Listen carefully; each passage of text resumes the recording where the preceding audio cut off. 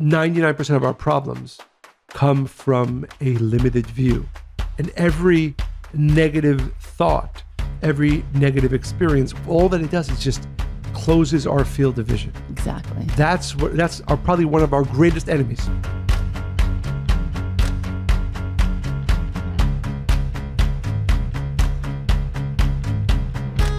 Welcome to Spiritually Hungry. I haven't told a story in a while. Oh, I love your stories. I'm going to start with that. An old Indian parable tells of a night when terrified residents were awakened by blasting and thunderous sounds outside the walls of their city.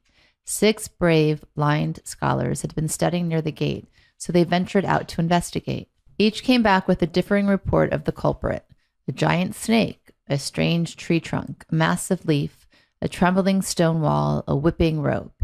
Each description relied solely upon whichever part of the trespassing elephant the scholar had grasped. This story was shared in the film Awake Glimpses of Consciousness. It got me thinking do any of us really understand our place in the universe? How can we when we have no way to objectively observe it? And we Not only that, I think we'll share with our listeners, we are we see so little, we hear so little. and we think we see it all. Both Kabbalah and science continue to show us that we're not merely conscious beings interacting with some vast, lifeless unknown.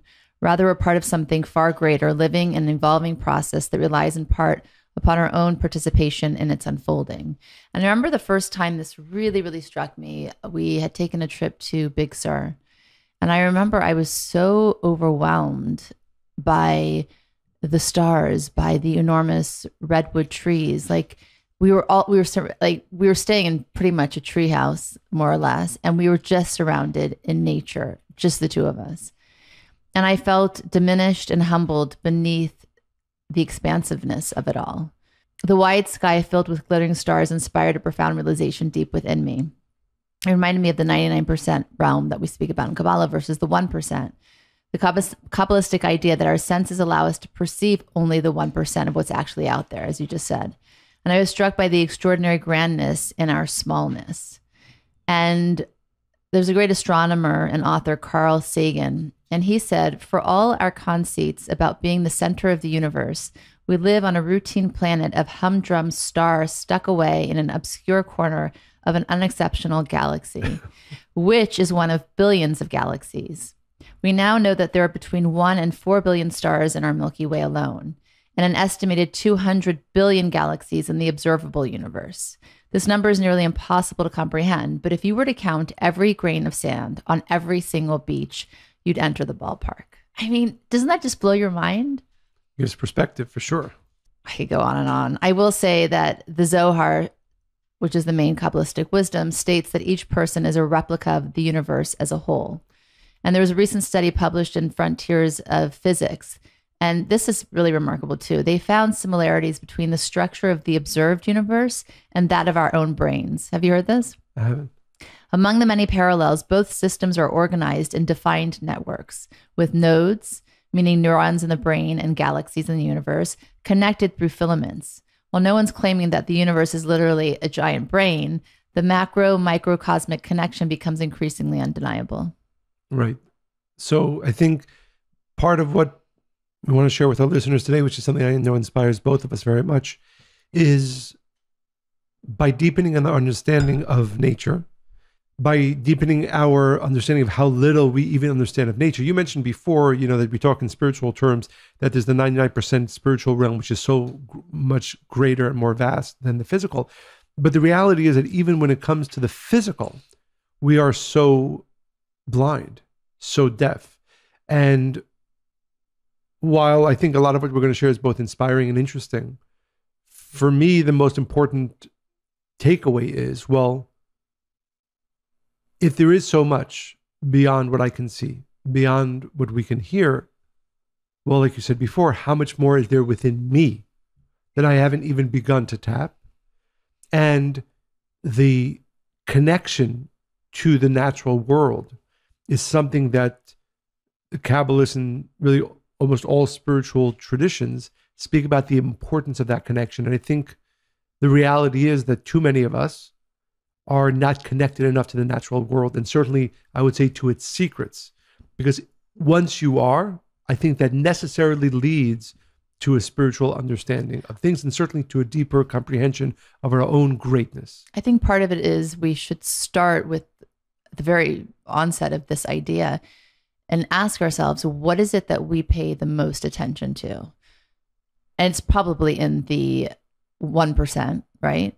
And then ask yourself how many times a day or in a week do you actually stop and ponder these kinds of things? How much do you rely on nature to inform really the the laws of the universe and what we can learn from it? Because everything is connected. We are interconnected. And there's some things that we're going to talk about today that I'm just again, I'm so inspired. I'm just going to keep saying that because it's it's that anything that can make us in the moment feel humble and small is a good thing, right? Well, it's interesting, like because you reminded me because last week we spoke about, I think it was last Awe. episode about awe, right? And this is really a beautiful. I didn't even think about it in this way, but it's a beautiful continuation of that. And based on what you said now, which I think is so important, I'd like our listeners to stop and think about this. One of the great purposes of nature is to gain a greater perspective. Why? Why do we get sad most of the time? Why do we get concerned most of the time? Why do we worry? Most of it is a diminishment of vision, right? This person did this to me, or I'm even worried they might do it to me tomorrow. hmm And that's my entire world now. What do you mean? But there's billions of stars? Uh, no, no, no, no, no, no, no, no. This is all that it, right now. All that exists is me and my fear of this person. That's it. And, really, it's just a moment in time. and if we even talk about time, time, that's a, it's just a moment. It, within And- the realm of nature, this isn't even a tiny blip, Right. right? But again, this isn't this isn't to talk down to all of us who have this problem all the time. But I think one of the reasons why it's so important to learn about nature, one of the most important reasons it's important it's important to be connected to nature, is that it gives you a more expansive, a more expansive vision of the world, of your place in it. And again, to go back to the point, which I think is so important, 99% of our problems come from a limited view. And every negative thought, every negative experience, all that it does is just closes our field of vision. exactly. That's what that's our, probably one of our greatest enemies. And I want all of our listeners to think about it. Today, yesterday, tomorrow, you got upset about something, something you worried you, you're worried about something else, you have this fear or this anxiety. What is the actual effect of that? Or, or even what is the reality within which that exists, can exist? Only one reality, a tiny one. A small, small sliver of not even reality, I wouldn't call it, but a small, small sliver of my experience. But not to take away from how people might feel in that moment, because it feels real in the moment and it feels scary, Of and course. the uh, the idea of the unknown, right? But that's why it's important to go back to a system that is perfect, and that is nature. It's a system that is correct connected to where we come from, right? It's not. It doesn't react to the, these things we're talking about. The things that we react to, that make our vision small, that make us sad. Nature doesn't react to. Right. And and what I'd like to add to that, which I think is so important, like you said in the beginning, another very, very important, you know, these concepts might be things either we've spoken before, people have heard before, known, but there's a very big difference between knowing them and living them, right? And the thought that we are made of all that nature is made of. So if I come to understand that um, that, for example, this universe is endless and ever expanding. What does that say about me? It means that I have the potential to be endless, but that I actually am, right? But I have to tap into the reality of me being an endless and ever expanding force. And to do that, you have to know what to pay attention to. Yes. So, but again, I, I like I said that that's why it's so important. I, I don't think it's possible to live the life that we're meant to live unless we're learning about nature, learning from nature, and experiencing at least the expansiveness, the the awesome expansiveness of nature, and then trying to internalize that both into my consciousness and how I view the re- my my my problems. And again, not to diminish, you know, we all have problems that overtake us at times and and take up our mind space, and and as we said before, start to limit our view. But but on clearer days, let's make clear that we understand that thing that really upset me yesterday, that thing that I was consumed with the day before. That is not even an, uh, you know a drop of water in the ocean of reality. Our dog Miles. Miles, I'm not petting you right I now. think you know it's funny. Miles doesn't usually want to join us on the on he the podcast today. He does because he, knows what we're talking about. we're talking about. Yeah, maybe we should do at some point a podcast about animals. But right now we're talking about the natural world. I know, world. and Miles is really tapped in, and Yeah. he's um, he's taken over. Yeah, I think also another thing is that if you look to see if something's good for you, right? Like again, all of these are hints that I think the creator gives us. Pay attention to this. If that thing's good for you, there must be something novel for you. If that other thing's good for you, go explore that. So we just look about being in nature, right? There's some great facts about this and statistics. Researchers from Cornell found that it takes as few as 10 minutes in a natural setting for college students to feel happier and less affected by stress, both physically and mentally. 10 minutes, right? ten minutes of. Of being in a Nature. natural outdoor uh, s- setting. And how long does it take? Sorry, uh, do they compare it to what it takes within confines of, a, of four walls? No, no, we're only talking Okay. about what happens when you actually go out. Um, you also mentioned that um, th- another study said that you're 68% less stressed on a whole if you spend two hours outdoors a week. Okay, 68%. And another thing that was really interesting, you mentioned uh, sadness. We know that vitamin vitamin D is so important. Where do you get it from naturally? The sun, right? Again, from nature. And one of the remedies for sadness is vitamin D. People don't realize this. Usually, when they're feeling sad and it doesn't really make sense, or they're not a sad person, and suddenly, like I know when we moved to New York, I was like, what's going on? I'm feeling a little bit sad in a way that I haven't. And I upped my vitamin D, and that reaction went away. Um, I do want to start with this one book that really inspired me. It's funny, my um, dear friend and homeopath, she's passed away a long time ago now, uh, about 10 years, but she recommended this book to me 10 years ago. Really? Mhm. And she was like, Monica, because I would often talk about these things where, like, I don't understand why people behave this way. I, sometimes I don't understand like, what we're talking about. And you get stuck on that one person who's bullying you, right? Especially if it's not found. I mean, it never is, but like if they come out of nowhere and you're like, okay, well, clearly that's a message in some way that's meant to be. But if you try to make sense of it, just from that again small view, you're never going to make sense of it. So she recommended this book, and she was like, everything you need to learn in life, you need to learn from trees. Um, so it's a great book called The Hidden Life of Trees, written by Peter Wohlleben. And he explores the fascinating and complex world of forest ecosystems. And he said when he began his professional career as a forester, he knew as much about the hidden life of trees as a butcher knows that of the emotional life of an animal. so, from his 35 years of research and observations, he found that the trees are not so different from us. They're far from being simple, passive organisms, which you would think, right? And it's funny because recently um, I went on a, a hike and my friend was, I mean, the trees were just so beautiful and different sizes and shapes. And um, she's like, let's hug trees. And I was, I never considered myself a tree hugger, but it does pull out like a heaviness and a weight. And Really? I started hugging trees, and I done it. have to tell you, honestly, Really? oh my god, I was lift. It literally felt like somebody had like just like I had just watched a comedy. Really? Yeah, it was Wow. really powerful. And So Josh, I will no longer look askance on tree hugging. our um, our son Josh, uh, bless him, is such like a pure heart, and he's always light. Like he picked the little skinniest tree to hug. I think the tree needed him more than he needed the the tree. Um, but what he found is that uh, Peter, that is, found that they that trees experience pain and have memory. And that's why that if a tree now this is routine, if a tree is sick in the forest, they won't bring machines in because it frightens the trees and they have a memory of what's going to happen. So they pull the tree out, a sick tree with horses. Oh, really? Wow. Yeah. They also have family structures. They live with their children in close proximity. They age. A young tree is smoother, and as they get older, they have grooves and wrinkles, as we do. And part of the reason that it's hard for us to understand them, as he puts it, is that we can't really understand because they live on a different scale than we do. If you had to guess, how old do you think the oldest tree is?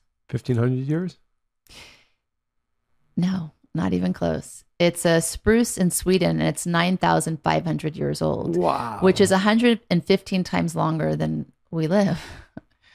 Nine thousand five hundred years, and he goes into why You mind if I and pull up a how, and you can. year old. I recommend to all of our listeners to uh, do this as well. This is Funnily enough, exciting. when I started to, I, I listened to the book again recently. Old Tjikko is called is his name. really, Tjikko. Tjikko? Do you have a picture? It, it was discovered when researchers examined the tree line. In the this can't be. I don't know. Is this it? Looks. That doesn't look like it at all. But yeah, but it's, yeah, it's old Tjikko. Oh, well, Tjikko's old. Old Yes. trees. By the way, it goes into a whole description of what happens when che- when That's very trees cool. Can you imagine ninety five hundred years? Right. It's very cool. um, when trees age, actually, it compares it in his book. He compares compares it to adults, like old trees and older people go a little thin at the crown. People tend to lose their hair. On trees, the top branches may become sparser and weaker as the tree gets older. So actually, that tree probably looks very, very accurate. You Yeah. would think it's like this big, robust. No, it's actually yeah, like the, like the large redwoods, Right. right? Yeah. Um, and like elderly people, elderly trees may also experience a decline in overall health as they age, which makes them more susceptible to disease or injury. Um, but I kind of thought of the book, The Giving Tree, right? Because even other trees come to help trunks that are now Right. That was a th- very cool thing. they writes feed about. it sugar, and, and it's when, they, when one tree is sick, the other trees take up their nutrients and send it to, which is crazy. amazing. And then you think about this, right? If you look at like fairy tales or like the enchanted forest and like, oh, it's all made up. Actually, no, not so much. And I thought what was really interesting is that, and it reminds me of my book, The Gift of Being Different.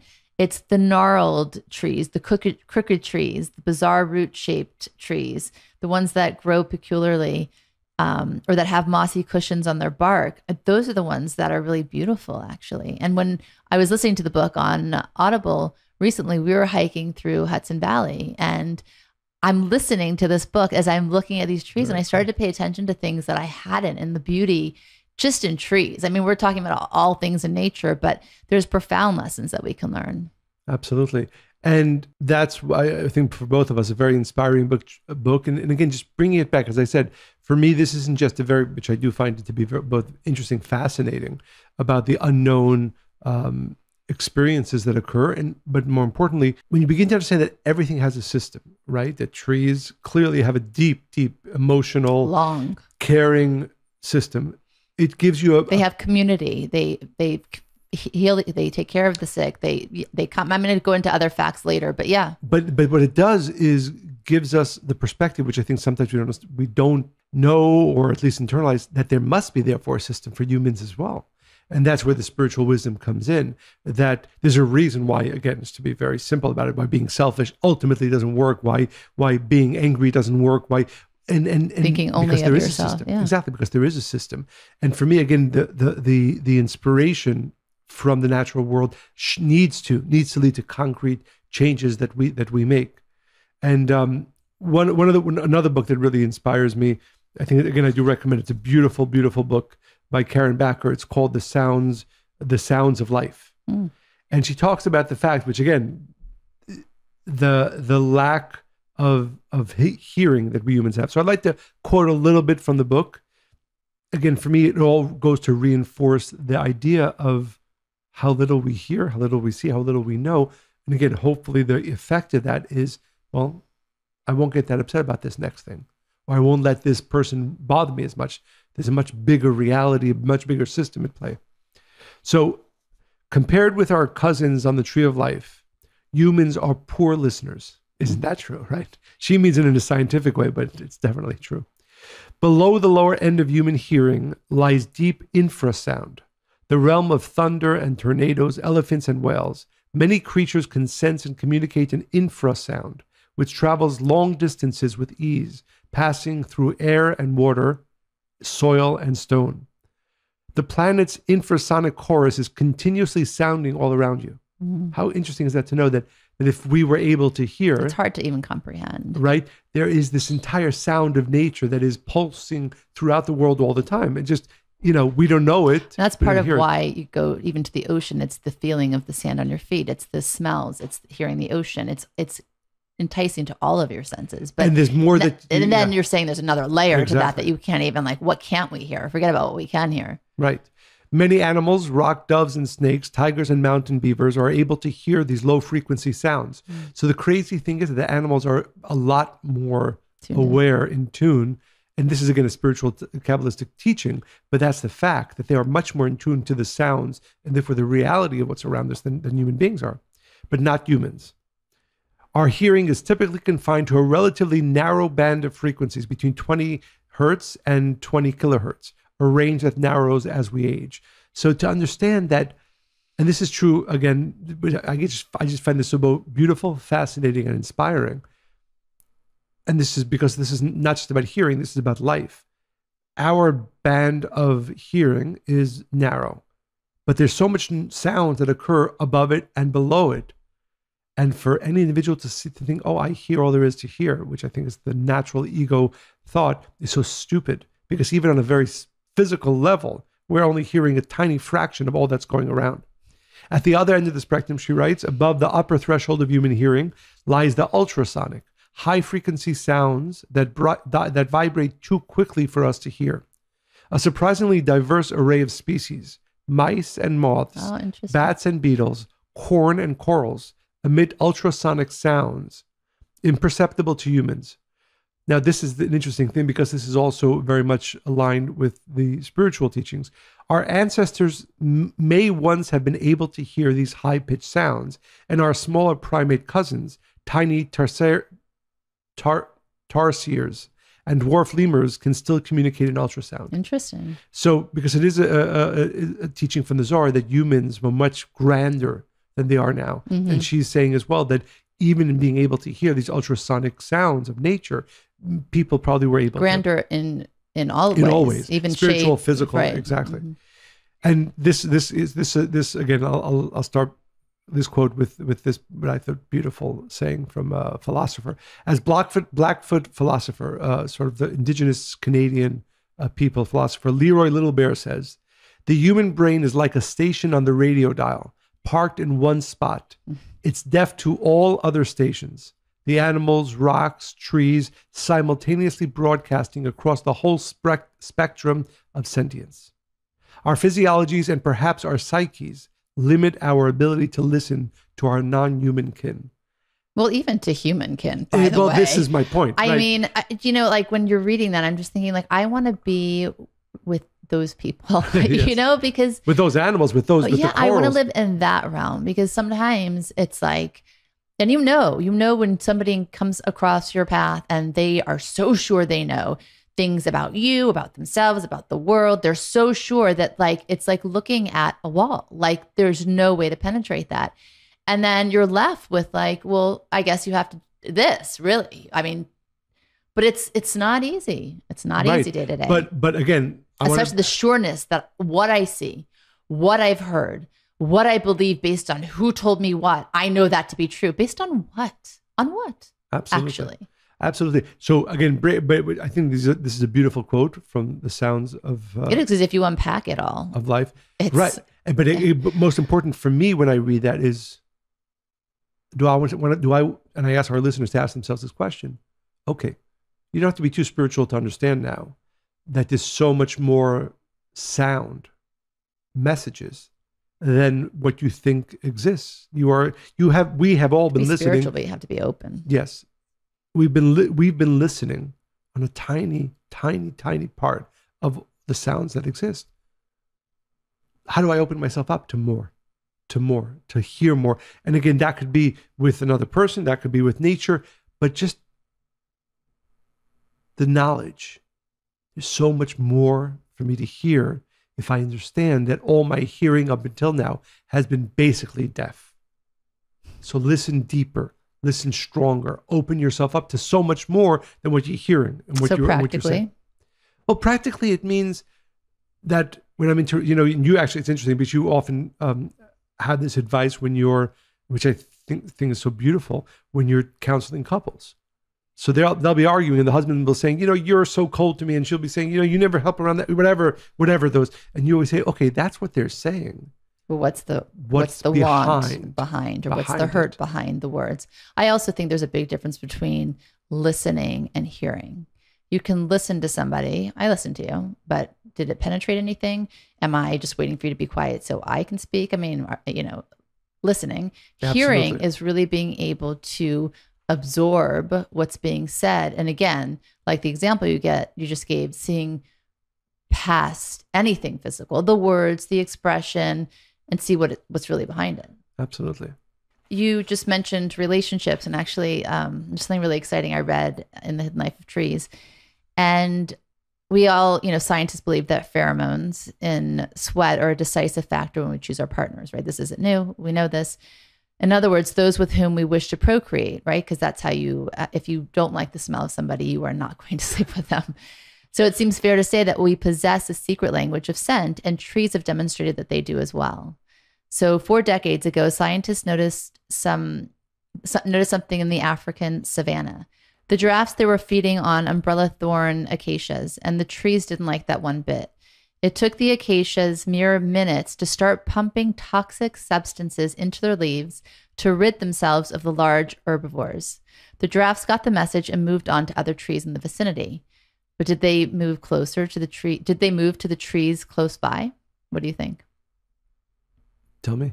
No, not for the time being. They walked right by a few trees and resumed their meal only when they had moved about a 100 yards That's away. Do you know why? Because the smell goes that far. The acacia trees that were being eaten that signaled to neighboring trees of the same species that a crisis was at hand. How amazing is that? Right away, all of the forewarned trees also pumped toxins into their leaves to prepare themselves. The giraffes were wise to this game and therefore they moved far away from That's- where they were. That's so beautiful. And again, it just sorry, you just inspired me as I, as I was listening to that. Another very practical lesson that I hope we and our listeners take from this. The next time I was actually have a, you know, I, you have these conversations every day when you do what we do. Somebody's saying, you know, why is this happening to me? Doesn't make sense, right? Why is this happening to me? Well, take a step back. The system's kind of perfect. Nature's kind of perfect. Mhm. So, so do you think if the acacia woods, where, which where was the forest in the savannah. in the savannah, their system is so perfect to protect them?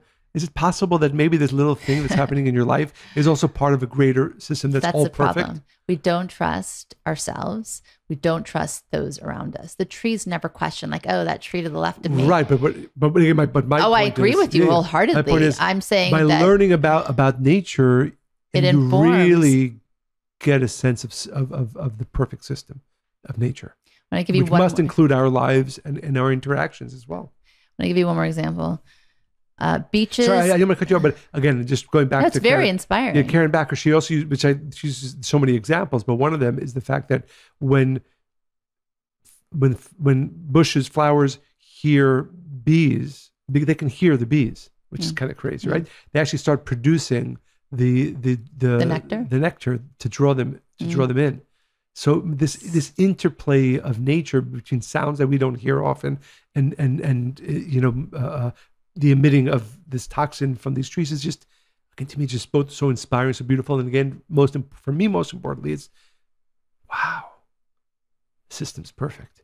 And also, I find great solace in it. Like when I'm confused by human behavior, sometimes I really do go to this information, this understanding, this wisdom to make myself humble, make myself small. Because, by the way, if you take all of those things so seriously, you do think you're really important and not the great ways. I hate to say it, but Right. that's the truth, right? Important in all the wrong ways. and important and it's a justified like that person's doing wrong by me right i have the right to feel hurt i have the right to feel i'm going to make a stand yes but first i think we need to make ourselves small and still and humble and look to a, a foolproof system that's been around forever right so there's one more example in the book i thought was so interesting he gives examples of these trees beeches spruce and oaks all register pain okay as soon as some creature starts nibbling on them.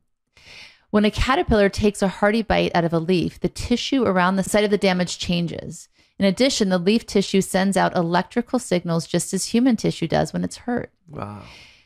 This ability to produce different compounds and another is another feature that helps trees fend off fend off attack for a while. When it comes to some species of insects, trees can accurately identify which bad guys they're up against. The saliva of each species is different, and trees can match the saliva to the insect. Wow. Indeed, the match can be so precise that trees can release pheromones that summon specific beneficial predators. Can you believe this? That's very cool. The beneficial predators help trees by eagerly devouring the insects that are bothering them. So, for example, elms and pines call on small parasitic wasps that lay their eggs inside leaf eating caterpillars. As the wasp larvae develop, Kind of disgusting. I know, but it's so interesting. They devour the larger caterpillars bit by bit from the inside out. I know. Wow. Not a nice way to Both die. disgusting and inspiring. But the result is that the trees are safe from both bothersome pests and can keep growing with no further damage. Wow. Wow. Wow. I wanted to also share, and again, this is from uh, the the uh, Sounds of Life. So she talks about how we've lost the ability to listen, and she says deep listening is a venerable and ancient art, Mhm. still practiced as a powerful method of revealing nature's truths. Indeed, many of the discoveries recounted in this book are often, in fact, merely rediscoveries of older forms of environmental knowledge.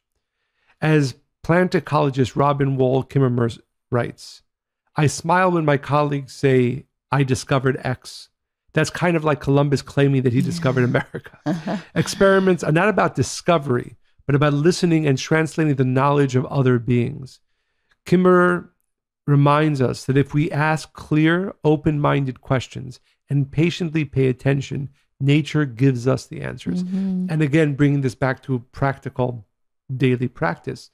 When you're feeling overwhelmed, when you're feeling upset, read, you know, I would literally, literally take five minutes every day and read The Hidden Life of Trees or read The Sounds of Life. And also go for a walk in nature. yes. And then remind yourself, but again, but the thought is, wow, first of all, like we said before, reality is so much more expansive. I am not going to let this limit my view and therefore my life and therefore me and therefore my experience. And second, the system's pretty awesome, the natural system. And I'm part of that. and And therefore, what I'm experiencing, what I'm going through also must be awesome. it, th- basically what you're saying, it's a reminder of the deep interconnectedness of all living things. Exactly. And if you look at it like that, that is the big picture. Right. All living things. And again, but for me, the, the, the bottom line is therefore there must be a system at play For in my us, life as well. Before we end, I thought it was interesting. There, there's um, a famous, uh, he's kind of philosopher, writer, uh, Marshall McLuhan, and he wrote the book, the the Gutenberg Galaxy, and he he explains, which I thought was interesting, the historical context with why we have stopped listening well.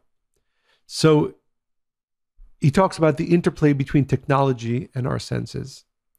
The rise of movable type, he argued, changed humanity's perceptual habits, right? So in 1400s, when Gutenberg invented movable type, right, the ability to really mass produce writing books that were written, by replacing oral and scribe cultures, because that up until then, all you had was the oral traditions given over and maybe a few writ, you know, written by scribe parchments, but most of it had to be oral, and therefore you had to lit. So if you think about it, up until 1460 or mm-hmm. whatever, the Gutenberg invented the movable type. If you wanted to learn, you had to listen well. So it was a very sharpened, heightened use of our ear, like that sense, yes, right? exactly. If the and not just hearing the sense physical was ears, but listening and, and hearing. energetically also. Yeah. Exactly. Um, And now we don't have to rely on that, so it becomes by dull. What replacing oral and Yeah. scribe cultures with print technology. Mhm. So he's not even talking about the web, right? But the importance of our visual senses intensified. So sight became much more important. The salience in, of oral and oral sensing receded. Inclu- information no longer needed to be recalled and remembered. Rather, it needed to be collected and organized. Gone were the recitations of long epic poems, which cultivated the art of memory. These were replaced by the segmentation of information, which cultivated the art of knowledge specialization. Literacy, literacy replaced orality. The Dewey Decimal System supplanted Homer's Odyssey. I just want to say one thing. I know you're going to unpack this, but I have a friend who um, sh- she never had great hearing, and then only like when she was 40, she got her first hearing aid, Oh, wow. and she hated it because she wasn't used to hearing all of these sounds. In fact, she's like, I can hear my own hair blow in the wind, and I don't like that sound, right? funny. So it just reminded me of what you're saying. Like for her, hearing much more was uncomfortable. Right, right. But yes, but the positive, I think the lesson that I wanted to extract from that from that idea is we have to realize for the past 500 years we've diminished technology has allowed us or brought us to limiting our ability to listen and hear. And if you want to live the life that you're meant to live, you have to go back to nature and go back to really and by the way, you know, we find this in, in you know in our work with people probably the biggest problem that humanity has. Problem biggest problem we have, and of course it relates to the ego, is that we don't listen. Often we don't even want to listen. But we don't listen, we don't hear. And what I hope we inspire our listeners today is with knowledge, with the desire. I need to hear more. It's interesting. I did a workshop this past weekend with a group of like 35 people. And it was this idea of hearing, listening versus hearing. And I asked three questions at the end of the workshop. I said, Who have you assigned or allowed yourself to listen to? Because it's a choice. We're very selective with our hearing. Okay. Who are are you deciding that you won't listen to, right? Never anything that comes out of that person's mouth. And it can even just be like a person that does X for a living or a person in your life that you have a relationship with. And the third one, and I made them close their eyes for this one because sometimes you need to cut off some of your senses to be able to really hear. The question was, what are you not willing to hear? Right. Because at the end of the day, it is ego. Ego, the bigger I, I would say, the bigger an ego a person has, the more powerful that ego is, the more in the driver's seat it is, the less ability they're going to have to be able to see, taste, feel, experience nature as it's intended. Absolutely. And the, the last quote uh, this is from Robin Wall Kimmerer. Kimmerer. Let us bring people back into conversation with all that is green and growing, a universe that never stopped speaking to us, even when we forgot how to listen. Mm, I love that. I quoted uh, Sagan earlier, the yeah, astronomer, sure. but I, I, like the way he says things. So uh, I'm going to leave you with apple pie. Oh, he said, "If you wish to make an apple pie, I make, I make a great apple pie." You didn't make it. Well, this year you didn't make the pie crust. Believe no, you do make a great one. Our, but you didn't podcast, make. But you didn't make the. This time you bought not, the crust. I am red faced with pie. Usually you make. usually you make the whole thing from scratch, and that is. I ask good. our listeners. To, uh, the, the only time I'll ever ask our listeners not to believe Monica. Oh hey, right. but that's no, she's you, right. Yeah, she's right. Of course But in general, I make a great apple. Okay, pie. not as Michael was saying, as Sagan was saying. If you wish to make an apple pie from scratch, you must first invent the universe without the countless processes that have that have formed a simple ingredient for baking, including the right amount of oxygen, sun, minerals, chemical reactions, gravity, and so on, neither the pie nor eth- nor anything else would exist. We are nothing short of miraculous. Beautiful, beautiful. Thank you. So before uh, I'd like to read a letter. It's a perfect time to remind our listeners to continue to send your stories, inspirations, comments, to Monica and Michael at Kabbalah.com. We are inspired by them. Our listeners are inspired by them. So I'd like to share with you this is going to be a, a series of, of a series of emails that I will share with you from one of our listeners. So first, hi Monica. So he doesn't even address it to me. This is fine. My name is Mark. I live in Los Angeles and I am a student at the LA Kabbalah Center. I've been a special education teacher for 30 years in the Palos Verdes School District. I teach students in middle school who have autism and Down syndrome. This past week, I stopped at the bookstore at the center and purchased a copy of The Gift of Being Different. This is not part of the letter, but this is a perfect place to stop and remind all of our listeners to pause the podcast right now, even though it's towards the end. And if you haven't bought your cop, your 10 copies of The Gift of Being Different, go to amazon.com right now and order. It will, it's an amazing book, will transform your life and your kids and your families. Buy them for everybody you know. Okay. I haven't read this letter yet, so I'm starting. I know, I know. I was excited. Goosebumps, and I'm starting to get teary. I know, I know. Yeah, don't please don't read because I'm going to share some more next week too. Um, I, I am pl- going to finish the letter, nope. but anyway. Nope. I have planned a week of lesson plans around this book. I'm so excited to share it with my students. We go back to school tomorrow. This will be the perfect way to get back into the swing of things in my language arts class. I will read them the story, and then we will follow up activities throughout the week about what their superpowers are. Mm. Thank you to you and Abigail for writing this book. I think my students will find this very empowering. I will let you know how it goes. I think I heard that. They, so this is. He said, I think I, I heard you will be here uh, for this weekend. Hopefully, we can say hello. So I don't know if he came to say hello to you, but Mark, thank you for sending this letter. There's another email from Mark. There was a follow up to this, which I'm not going to read now, but hopefully I'll share with read it.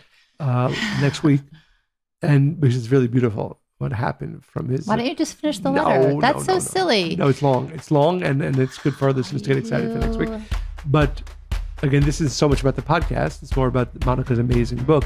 Uh, but as I said before, please do make sure to go out and buy. It really is an amazing book.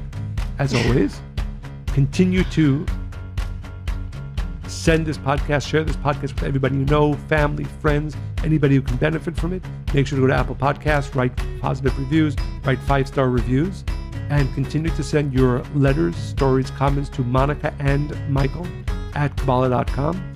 We are inspired by everything that you write to us, and we, as we share them with our listeners, they are inspired as well. So it's a great opportunity for all of us to receive your inspiration. And as always, I hope you enjoyed listening to this podcast as much as we enjoyed recording. Stay spiritually hungry.